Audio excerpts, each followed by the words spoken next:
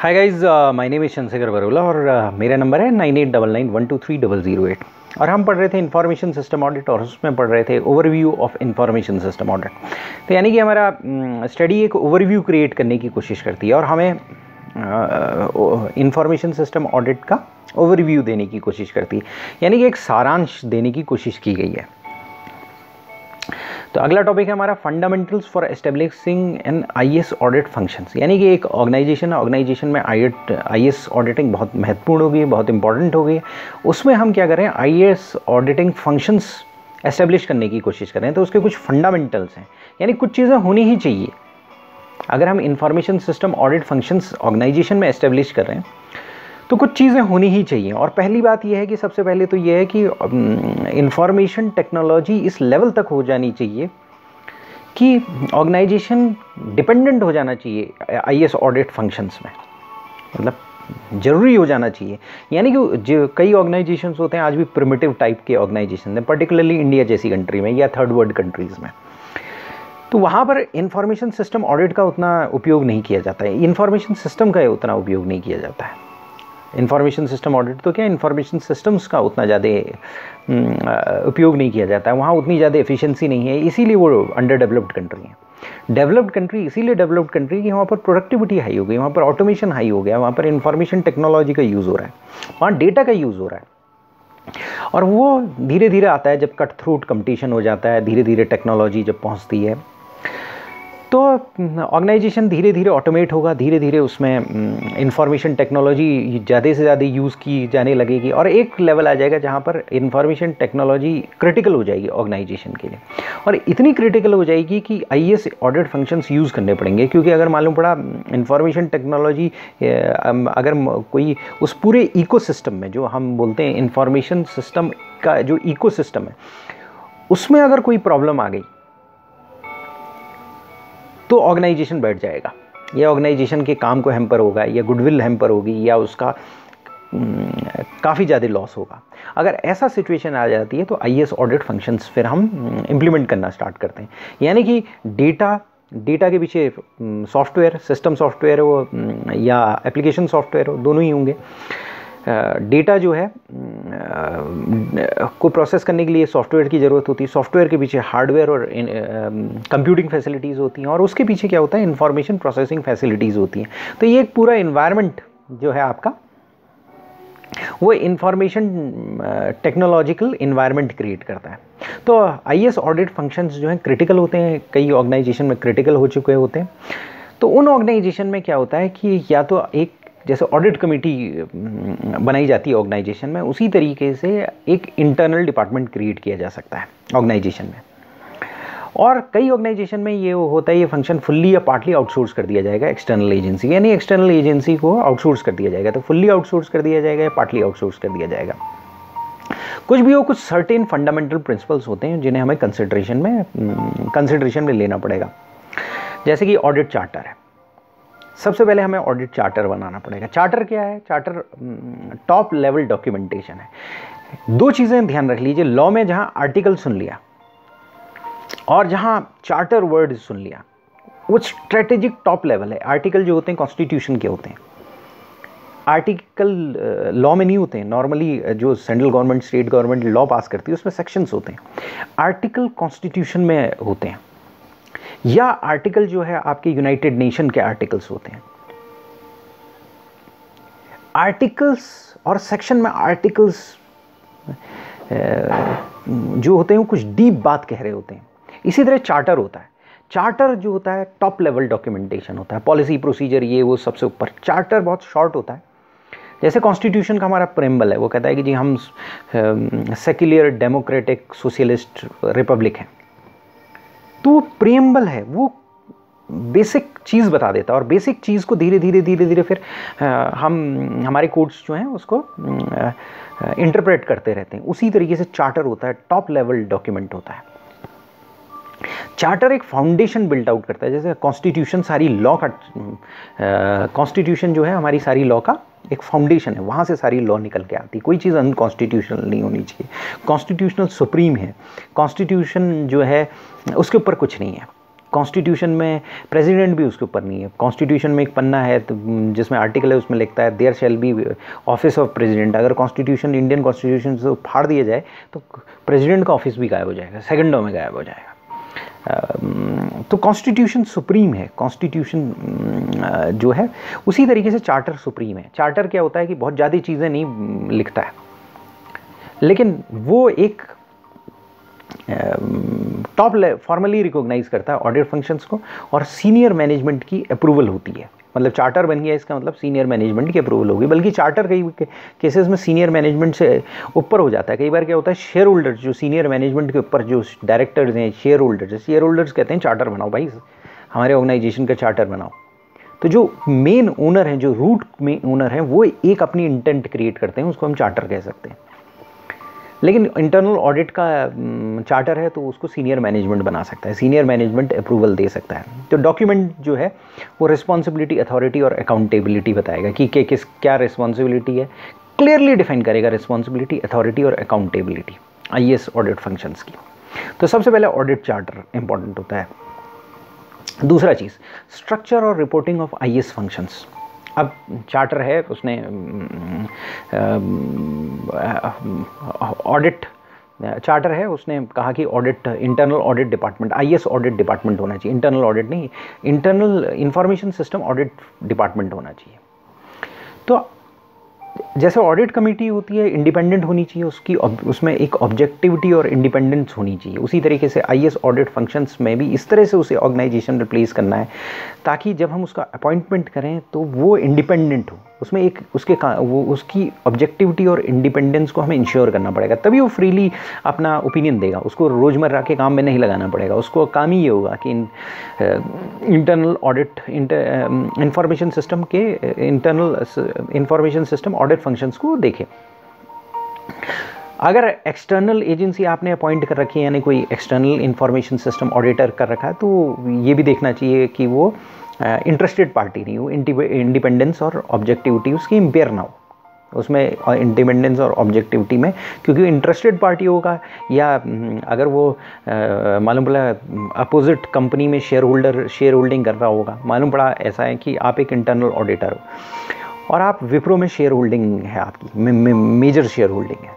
और आप रिलायंस या नहीं सॉरी आप दूसरी किसी कंपनी में माइक्रोसॉफ्ट या किसी कंपनी में, या इंडिया की किसी कंपनी में इन्फोसिस जैसी कंपनी में इंफॉर्मेशन सिस्टम ऑडिटर के रूप में काम करने लगते हो तो आपकी ऑब्जेक्टिविटी और इंडिपेंडेंस हैम्पर होगी। तो जो एक्सटर्नल एजेंसी हम अगर करेंगे तो उसकी इंडिपेंडेंट और ऑब्जेक्टिविटी हैम्पर ना हो। उसके रिगार्डिंग स्टिपुलेशंस होनी चाहिए और इफ़ेक्टिव ऑडिट फ़ंक्शंस के लिए ये बहुत इंपॉर्टेंट है। इसके फाउंडेशन है इफ़ेक्टिव ऑडिट फ़ंक्शंस के लिए इंडिपेंडेंट और इंडिपेंडेंस और ऑब्जेक्टिविटी होना इंपॉर्टेंट है। और बल्कि आई ऑडिट के लिए नहीं, किसी भी ऑडिट के लिए है ये। कोई भी इंटरनल ऑडिट हो एक्सटर्नल ऑडिट हो।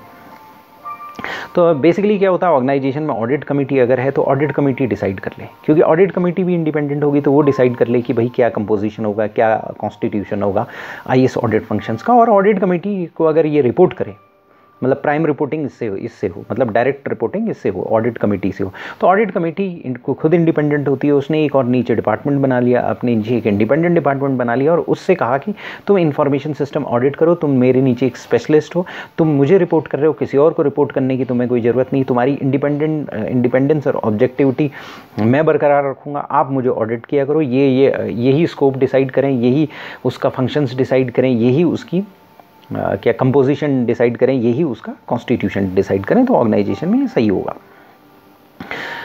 तो बेसिकली स्ट्रक्चर रिपोर्टिंग जहाँ तक है इंडिपेंडेंट होना चाहिए और अगर ऑडिट कमेटी हो इंटरनल ऑडिट कमेटी हो आपके ऑर्गेनाइजेशन में तो उसके अंदर इंफॉर्मेशन सिस्टम ऑडिट कमेटी या वो डिपार्टमेंट अपॉइंट होना चाहिए। दूसरी चीज़ आईएस ऑडिट फ़ंक्शन की स्टाफिंग कैसे करेंगे? अब स्टाफिंग में दो चीज़ है। एक तो कौन करेगा उसकी स्टाफिंग और दूसरी बात, जिस आदमी की स्टाफिंग करोगे आईएस ऑडिटिंग में इंफॉर्मेशन सिस्टम ऑडिट में करोगे तो उसके पास टेक्निकल स्किल्स होनी चाहिए।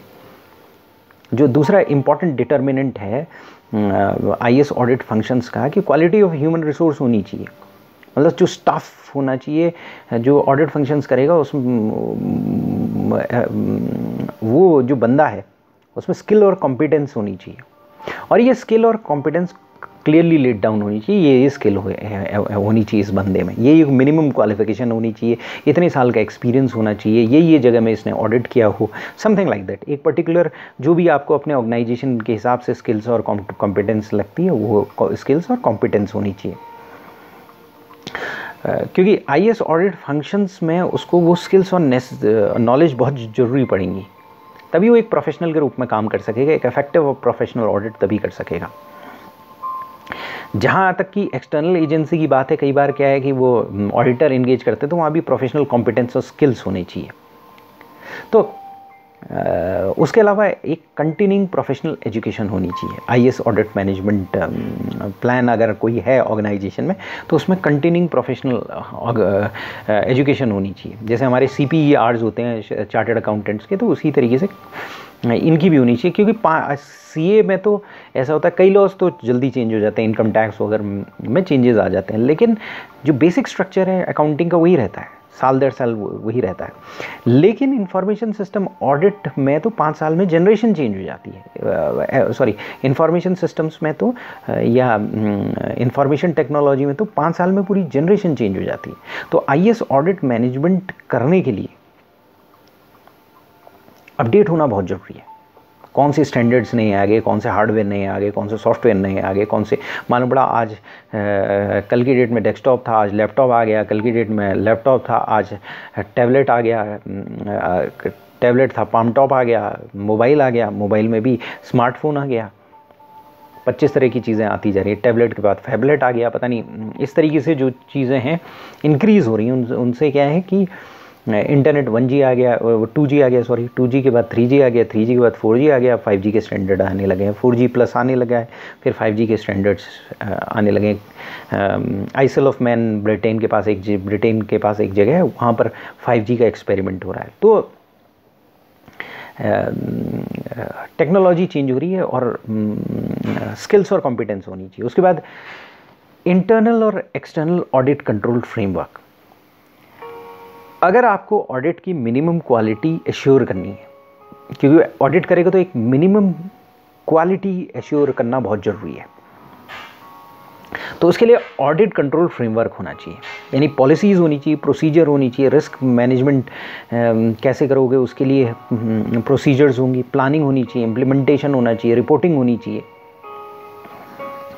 दूसरी बात एक्सटर्नल स्टैंडर्ड्स और प्रोफेशनल प्रोनाउंसमेंट होते हैं, उनको एडहेयर करना चाहिए। तो अगर मान लिया सपोज़ कोई बंदा ऑडिट कर रहा है तो वहाँ पर ऑर्गेनाइजेशन में एक फ्रेमवर्क होना चाहिए ऑडिट कंट्रोल फ्रेमवर्क होना चाहिए। ऑडिट कंट्रोल फ्रेमवर्क फ्रेमवर्क का, क्या मतलब है? एक फ्रेमवर्क होना चाहिए। एक फ्रेम सा के आगे फ्रेम टाइप बनना चाहिए। कहना चाहिए उसमें क्या है कि उसके कई कोने होंगे। पॉलिसीज़ होंगी प्रोसीजर्स होंगे रिस्क असेसमेंट कैसे करोगे, उसकी टेक्निक्स होंगी प्लानिंग होगी इम्प्लीमेंटेशन होगी रिपोर्टिंग होगी, फिर ट्रेनिंग होगी इंडिविजुअल्स की आपको ट्रेनिंग करोगे। इससे क्या होगा, एक ऑडिट कंट्रोल फ्रेमवर्क बनेगा, जिससे कि ऑर्गेनाइजेशन को पता होगा कि भैया आईएस फ़ंक्शन कितना इंपॉर्टेंट है, इसका कंटिन्यूसली ऑडिट होता है, हमें इसके बारे में जवाब देना पड़ता है, और इनके स्टैंडर्ड्स और बाहरी जो स्टैंडर्ड्स हैं प्रोफेशनल प्रोनाउंसमेंट तो हमें एडहर करने ही पड़ते हैं लॉ हमें एडहर करनी ही पड़ती है, इसके अलावा इनको भी अप्लाई करना पड़ता है। इसके अलावा क्वालिटी असेसमेंट और पेयर रिव्यू एक ऑर्गेनाइजेशन में इंटरनल ऑडिट होता है। लेकिन अगर मान लिया सपोज़ विप्रो जैसी कंपनी है या इन्फोसिस जैसी कंपनी है, ये कोई बेटर कंपनी है, ये तो बहुत बड़ी कंपनी है, बहुत स्टैंडर्डाइज कंपनी है, अगर छोटी भी कंपनी है तो बहुत सारी कंपनी में आईटी का बहुत यूज़ होने लग गया है। तो यहाँ पर आईएस ऑडिट फ़ंक्शंस होने बहुत ज़रूरी हैं। और ये बेस्ट ऑडिटिंग प्रैक्टिसेस फॉलो करना बहुत ज़रूरी है, प्रोफेशनल स्टैंडर्ड्स फॉलो करना ज़रूरी है, प्रोनाउंसमेंट्स फॉलो करना ज़रूरी है। तो क्या है कि कई बार क्या होता है, एक एक डिपार्टमेंट इन सब चीज़ों को उतनी सीरियसली नहीं लेता है। तो क्रॉस ऑडिट भी होना बहुत ज़रूरी है। इंटरनल और एक्सटर्नल क्वालिटी असेसमेंट होना बहुत ज़रूरी है। पेयर रिव्यू होना बहुत ज़रूरी है। सर्टिफिकेशन और एक्रेडेशन होना बहुत ज़रूरी है। क्योंकि आईएस ऑडिटर अगर आपके पास एक डिपार्टमेंट है इंफॉर्मेशन सिस्टम ऑडिट का डिपार्टमेंट है तो आईएस ऑडिटर भी क्या है? कुछ दिनों बाद बोर हो जाएगा। मतलब काम करते करते उसके लिए काम रूटीन हो जाएगा और चीज़ें अपडेट हो रही होंगी, वो अपडेट नहीं कर रहा होगा अपने आप को। उतनी तेज़ी से अपडेट नहीं कर रहा होगा क्या प्रोफेशनल स्टैंडर्ड्स हैं क्या प्रोनाउंसमेंट है या बेस्ट ऑडिटिंग प्रैक्टिसेस क्या हैं इन्फॉर्मेशन सिस्टम ऑडिट के एरिया में वो नहीं देख रहा होगा, क्या चेंजेस आ रहे हैं, वो सारी चीज़ें नहीं देख रहा होगा। वो एक सेटिस्फाइड इंडिविजुअल हो जाएगा जो इंडिविजुअल जो है वो चेंज को रजिस्टर करता है। वो एक सैलरी मिलेगी, वो अपना काम करेगा रिपोर्ट देगा और वही रिपोर्ट आएगी और कोई पॉजिटिविटी नहीं आएगी। तो इंटरनल और एक्सटर्नल क्वालिटी असेसमेंट होना बहुत ज़रूरी है उस, उसके ऑडिट का। पीयर रिव्यू होना बहुत ज़रूरी है तो उससे क्या होगा उसको फीडबैक रहेगा। वो ये उसको ये पता रहेगा कि भाई मेरे ऑडिट का भी कोई ऑडिट कर रहा है। सर्टिफिकेशन होगी तो उसे पता चल जाएगा ये सर्टिफिकेशन क्यों हो रही है? क्या स्टैंडर्ड्स हैं नई जिसकी वजह से सर्टिफिकेशन हो रही है? एक्रीडेशन और सर्टिफिकेशन बहुत ज़रूरी होते हैं इसलिए होते हैं क्योंकि वो वो जो होते हैं आपको लेटेस्ट लेवल पर लाकर खड़े कर देते हैं। लेटेस्ट टेक्नोलॉजी के लेटेस्ट स्टैंडर्ड के लेवल पर आपको खड़े कर देते हैं। आपसे क्वेश्चन पूछेंगे भाई। वो कहेंगे अच्छा आपके वहाँ ये इम्प्लीमेंटेड नहीं है। तो वो कहेंगे कि, भाई, आप तो हमारे क्राइटेरिया को पूरा ही नहीं कर रहे हो। तो बेसिकली सर्टिफिकेशन और एक्रेडिशन हेल्प करते हैं। तो कहने का मतलब ये है कि अगर आप एक information system audit functions develop कर रहे हैं अपने ऑर्गेनाइजेशन में तो कुछ उसके फंडामेंटल्स होंगे। और उस फंडामेंटल्स के अनुसार आपको फॉलो करना पड़ेगा। तभी आप एक अच्छा आईएस ऑडिट फ़ंक्शन अपने ऑर्गेनाइजेशन में एस्टेब्लिश कर सकते हैं। सबसे पहले तो आपका ऑर्गेनाइजेशन क्रिटिकली इतना डिपेंडेंट हो जाए इंफॉर्मेशन टेक्नोलॉजी में, इतना ऑटोमेटेड हो जाए इतनी एफिशिएंसी आ रही हो, इतना ह्यूमन बीइंग का कंट्रोल हट जाए कि अगर मान लीजिए सपोज़ ये सिस्टम आपको ये डर लगने लग जाए, इतना रिस्क बढ़ जाए कि अगर आपको डर लगने लग जाए कि भाई अगर कहीं कोई सिस्टम में कुछ प्रॉब्लम आ गई तो क्या होगा? तो आप क्या करोगे? फटाफट आपकी हालत ख़राब होगी, आप I S audit functions I S audit department create करने की कोशिश करोगे इंटरनल क्रिएट करने की कोशिश करोगे एक्सटर्नल क्रिएट करने की कोशिश करोगे। कई बार क्या होगा, हड़बड़ी में हो गया, आप जल्दी होगी, कोई गड़बड़ हो चुकी होगी तो आप क्या करोगे, आपको काफ़ी दिन, देर बाद रिकोगनीशन होगी तो आप फटाफट कोई एक पार्टली आउटसोर्स एक एजेंसी को ले लोगे, उसको आउटसोर्स कर दोगे और फिर उससे काम करने लगोगे। फिर कुछ सर्टेन फंडामेंटल प्रिंसिपल्स हैं जो आपको देखने पड़ेंगे। सबसे पहले ऑडिट चार्टर होगा। ऑडिट चार्टर चार्टर जो है टॉप लेवल डॉक्यूमेंटेशन होता है। और यही चार्टर जिस तरह इंडिया का कॉन्स्टिट्यूशन है, उसी तरह से एक चार्टर बनता है। चार्टर जो है, वो सीनियर मैनेजमेंट का अप्रूवल होगा उस चार्टर में और rules responsibility authority accountability define करेगा। उसके बाद रिपोर्टिंग स्ट्रक्चर और आईएस ऑडिट फ़ंक्शंस का स्ट्रक्चर और रिपोर्टिंग आपको देखनी पड़ेगी। उसमें क्या ये देखना पड़ेगा कि इंडिपेंडेंस हो ऑब्जेक्टिव हो। तो सबसे बड़ी, बढ़िया चीज़ ये है कि इंटरनल ऑडिट डिपार्टमेंट अगर आपके ऑर्गेनाइजेशन के अंदर है उसी को रिपोर्टिंग दे दो। वही कंपोजिशन और कॉन्स्टिट्यूशन डिसाइड करेगा। वही उसका स्ट्रक्चर ऑर्गेनाइज वही उसका डिपार्टमेंटल स्ट्रक्चर डिसाइड करेगा क्या इसका डिपार्टमेंटल स्ट्रक्चर है। उसके बाद आई एस ऑडिट फ़ंक्शंस की स्टाफिंग बहुत इंपॉर्टेंट है, क्योंकि डेटा बहुत इंपॉर्टेंट है। डेटा के पीछे हार्डवेयर और सॉफ्टवेयर है जो कि चेंज होते जाते हैं। उसके पीछे आई फैसिलिटी है। ये सारी चीज़, ये पूरा environment information system environment create करता है। और ये, इसको ऑडिट करने के लिए हायर स्किल्स और कॉम्पिटेंस की ज़रूरत है। और यहाँ पर तो स्किल्स और कॉम्पिटेंस की तो बात छोड़ो। यहाँ कॉम्पिटेंसीज चेंज होती जा रही हैं। तो चूँकि कॉम्पिटेंसीज चेंज होती जा रही हैं तो कंटिन्यूस कंटिन्यूइंग प्रोफेशनल एजुकेशन की बहुत ज़रूरत है। तो स्किल और कॉम्पिटेंस देखनी पड़ेगी। जिस बंदे को आप ऑर्गेनाइजेशन में रखोगे, एक मिनिमम अमाउंट ऑफ़ पहले आप स्टैंडर्ड बनाओगे, ये ये क्वालिफिकेशन होनी चाहिए, इतने साल का एक्सपीरियंस होना चाहिए। इस, ये व्यक्ति यहाँ यहाँ पर एक्सपीरियंस लिए हुए हो, इस एरिया का एक्सपीरियंस लिए हुए ये सारी चीज़ें होनी चाहिए और उसके बाद फिर आप उसको अपॉइंट करोगे। इंटरनल और एक्सटर्नल ऑडिट कंट्रोल फ्रेमवर्क्स होने चाहिए। फ्रेमवर्क क्या होते हैं? Framework control framework security framework कहाँ से आते हैं? ऑर्गेनाइजेशन में पॉलिसी प्रोसीजर बनते हैं, वही फ्रेमवर्क क्रिएट करते हैं। उसी के अंदर काम करना होता है। फ्रेमवर्क क्या होता है? फ्रे एक पर्टिकुलर फ्रेम बना दिया जाता है, उसी के अंदर काम करना होता है। तो policy procedure risk assessment planning implementation reporting ये सारी चीज़ें इस्टेब्लिश आप करोगे। स्टैंडर्ड्स ऑफ़ प्रोफेशनल प्रोनाउंसमेंट देखोगे। और यही एक फ्रेमवर्क है, इनके अंतर्गत आप काम करोगे। उसके बाद क्वालिटी असेसमेंट और peer review internal audit department आपने क्रिएट किया। उसके बाद इंफॉर्मेशन सिस्टम ऑडिट डिपार्टमेंट भी क्रिएट किया। लेकिन इंफॉर्मेशन सिस्टम ऑडिटर कुछ साल पुराना हो गया, उसकी मैनेजमेंट के साथ सेटिंग हो गई। वो अब ज़्यादा काम नहीं करना चाहता। वो इंडिपेंडेंट है, वो चौधरी की तरह रहता है। जब आना आना होता है, आता है, जब नहीं आना होता, नहीं आता है। कंटिन्यूसली अपने स्किल्स अपग्रेड नहीं करता है। तीन साल से उसने कोई नई सेमिनार सेमिनार में भाग नहीं लिया है, जिससे कि तीन साल पुराना या चार साल पुराना या पाँच साल पुराना उसके स्किल्स हो गए हैं और मार्केट में नई टेक्नोलॉजी स्टैंडर्ड्स आ गए हैं और उसने अपने आप को अपग्रेड नहीं किया है। और लेकिन फिर भी वो मस्त है, अपनी सैलरी तो मिल ही रही है। अब वो सोचता है कि आराम से रहे तो आपको क्या करना पड़ेगा? आपको पीयर रिव्यू करना पड़ेगा एक्सटर्नल इंटरनल क्वालिटी असेसमेंट करना पड़ेगा सर्टिफिकेशंस होते हैं एक्रेडेशंस होते हैं। वो सर्टिफिकेशन एक्रेडेशन करने के लिए बंदे आएँगे, उससे क्वेश्चन पूछना स्टार्ट करेंगे अपना सर्टिफिकेशन देने से पहले आई वगैरह के बंदे आएँगे, वो कहेंगे, भैया, ये ये बताओ, आपके ऑर्गेनाइजेशन में क्या होते हैं? तो उसके दिमाग में ज़ोर लगेगा, उसे लगेगा, यार, ये अगर सर्टिफिकेशन नहीं मिला तो तो फिर तो गड़बड़ हो जाएगा, मेरे को जॉब से निकाल दिया जाएगा। तो वो फिर पीयर रिव्यू क्वालिटी असेसमेंट की वजह से अपने आप को हमेशा अपडेट रखेगा। हर बार को peer review external internal quality assessment तो होना ही चाहिए। सर्टिफिकेशन और एक्रेडेशन होने चाहिए और वो रिन्यू होनी चाहिए सर्टिफिकेशन और एक्रेडेशन क्योंकि उनकी पर्टिकुलरली एक्सपायरी होती है। और एक्सपायरी होनी भी चाहिए। किस लिए एक्सपायरी होनी चाहिए? क्योंकि चार या पाँच साल में तो पूरी चीज़ चेंज हो जाती है। जनरेशन चेंज हो जाती है। अब पूरा बाबा आदम पाँच साल में तो चीज़ें आईटी के फ़ील्ड में बाबा आदम हो जाती हैं। तो बाबा आदम की चीज़, दमाने की चीज़ें आप लेकर नहीं रह सकते। उसके अलावा ऑडिट मिशन स्टेटमेंट है। अब ऑडिट मिशन स्टेटमेंट क्या होता है? ऑडिट मिशन स्टेटमेंट किसी ऑर्गेनाइजेशन में जाते हो तो एक बड़ा मिशन स्टेटमेंट होता है कि हमारे ऑडिट फ़ंक्शन का क्या मिशन है? हमारे ऑडिट फ़ंक्शन का मिशन ये है कि वैल्यू एडिट सर्विसेज़ प्रोवाइड करेगा ऑडिटिंग में। वैल्यू एडिड सर्विसेज़ क्या होते हैं? वैल्यू एडिड सर्विसेज़ ये होते हैं कि एफिशिएंसी होती है इफेक्टिवनेस प्रोवाइड करता है ऑर्गेनाइजेशन के गोल्स को बिज़नेस के ऑब्जेक्टिव्स को मीट आउट करने की कोशिश करता है और एफिशिएंट बनाने की कोशिश करता है।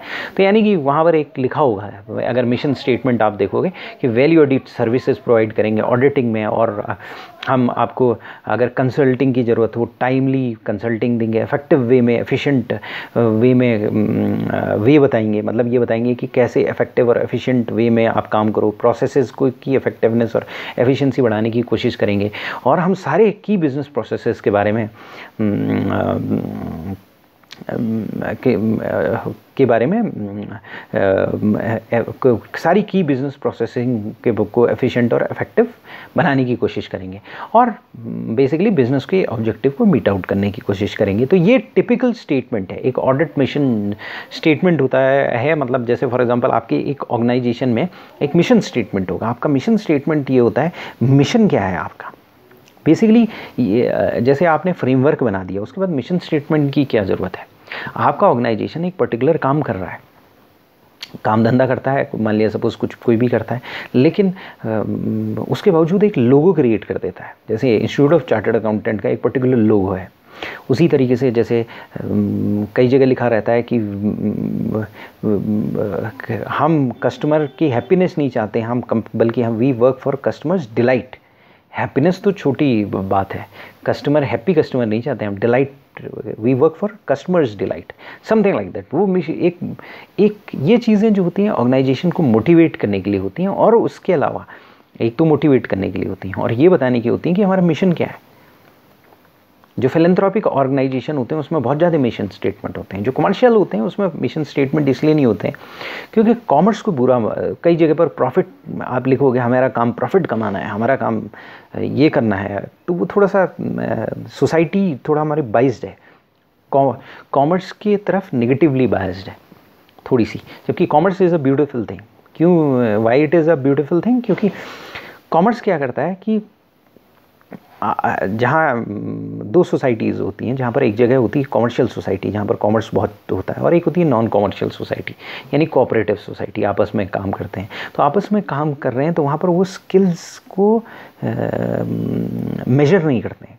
कॉमर्स जहाँ पर कॉमर्स होता है, प्योरली कॉमर्स होता है, प्योरली कॉमर्शियल सोसाइटी होती है, वहाँ पर स्किल्स मेजर हो जाता है। स्किल कैसे मेजर हो जाता है? मैं ये काम करूँगा, तुम कितने पैसे दोगे? आदमी सीधे बोलता है।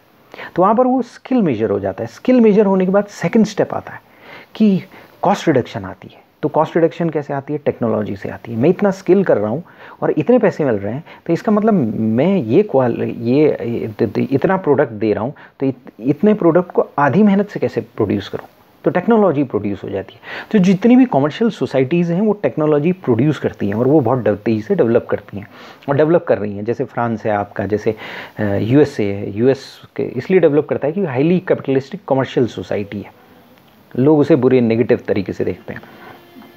तो फिलेंथ्रोपिक ऑर्गेनाइजेशन में मिशन स्टेटमेंट बहुत ज़्यादा होता है। नॉर्मल कमर्शियल ऑर्गेनाइजेशन में फिलेंथ्रोपिक स्टेटमेंट्स कम होते हैं। तो ऑडिट मिशन जो है आपका ऑडिट मिशन स्टेटमेंट जो है या मिशन स्टेटमेंट आप अपने ऑर्गेनाइजेशन में बना सकते हैं। और मिशन स्टेटमेंट क्या करेगा? वो प्राइमरी पर्पज़ बताएगा। वो कहेगा कि जी ऑडिट फ़ंक्शंस के क्या प्राइमरी फ़ंक्शंस हैं? और वो ये बताएगा कि हम वैल्यू ऐड कर रहे हैं। थोड़ा सा अपने बारे में बताएगा कि ये ऑडिट फ़ंक्शंस से हम वैल्यू ऐड करते हैं और ये ये वैल्यू ऐड करते हैं। थोड़ा सा स्मॉल मिशन स्टेटमेंट स्मॉल होता है। आपका मिशन जो है देश को बचाना है आर्मी का मिशन मुट्टो। तो वो स्मॉल होता है। वी मेक कि वो कुछ ऐसा बोलते हैं we make man out of youth और समथिंग लाइक दैट ये उनका मिशन स्टेटमेंट होता है। mm, उसे ये कह सकते हैं। तो मिशन स्टेटमेंट एक ओवरव्यू देता है फोकस प्रायोरिटीज़ वैल्यूज़ और प्रिंसिपल्स के बारे में। कि जब हम ऑडिट करेंगे या कहीं पर हमें कोई चीज़ समझ में नहीं आ रही ऑडिट डिसीजंस लेने हैं तो वहाँ पर हम वो मिशन को देख लेंगे, उससे हमें फोकस पता चल जाएगा प्रायोरिटीज़ पता चल जाएँगे वैल्यूज़ पता चल जाएँगे प्रिंसिपल्स पता चल जाएँगे। तो कई जगह पर वो गाइडेंस का काम करते हैं और पर्पस क्लैरिफाई करते हैं और आपके ऑडिट फ़ंक्शंस की मीनिंग आपको देते हैं कई बार। कई बार आप कंफ्यूज हो गए होते हो। कई बार पॉलिसीज़ प्रोसीजर में एम्बिग्विटी होती है। वैसे पॉलिसीज़ और प्रोसीजर में एम्बिग्विटी है तो पॉलिसीज़ मानी जाएगी। प्रोसीजर नहीं माना जाएगा। लेकिन पॉलिसी में भी एम्बिग्यूटी हो, ऐसा कुछ समझ में नहीं आ रहा हो तो आप मिशन स्टेटमेंट की तरफ़ तरफ़ देखते हो। तो हर ऑर्गेनाइजेशन में मिशन स्टेटमेंट वेरी कर सकता है। मतलब ऑडिट फ़ंक्शन में ही मिशन स्टेटमेंट वेरी कर सकता है। जैसे हर कंट्री की आर्मी होती है। तो वहाँ मिशन स्टेटमेंट हर कंट्री में है वेरी करता है। जैसे पिज़्ज़ा हट है पिज़्ज़ा पच्चीस कंट्री डोमिनियो का पिज़्ज़ा है पिज़्ज़ा हट का पिज़्ज़ा है। तो वो लेकिन उनका दोनों का मिशन स्टेटमेंट अलग होगा। अगर आप देखेंगे, उनका लोगो अलग होगा। तो मिशन स्टेटमेंट ऑर्गेनाइजेशन के बारे में भी बहुत कुछ कहता है। तो बेसिकली एक छोटा सा स्टेटमेंट होता है चार पाँच छः सात आठ दस लाइन का स्टेटमेंट होगा।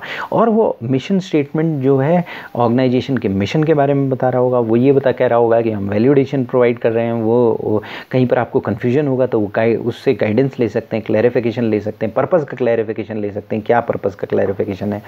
हमारे ऑर्गेनाइजेशनल का पर्पज़ क्या है? उसका क्लैरिफिकेशन ले सकते हैं। और ऑडिट फ़ंक्शंस का मीनिंग ले सकते हैं और जहाँ भी कहीं एम्बिग्यूटी होती है तो उसमें हम उसे रेफ़र कर सकते हैं।